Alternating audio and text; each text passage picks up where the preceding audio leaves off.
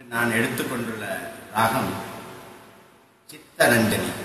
சித்தரஞ்சனி கரகரப்பிரியாவுடைய மத்தியம சுரங்களை மட்டும் வைத்து இசைக்கப்படும் ராகமாகும். இதில் மிகவும் பிரபலமான பாடல் ஒன்று சின்னப்பா அவர்கள் பாடிய பாடல் ஒன்று. காதல் கனிரசமே இந்த பாடல் அவர் தியாகராஜர் இயற்றிய நட என்று தொடங்கும் ஒரு பாடலிலிருந்து எடுத்த பாடல் போல இருக்கும். சுரங்கள் கரகரப்பிரியனுடைய சுரங்கள் மேல் சஜம் தொடாமல் மத்தியம சுரங்கள் மட்டும் வாசிக்கிறது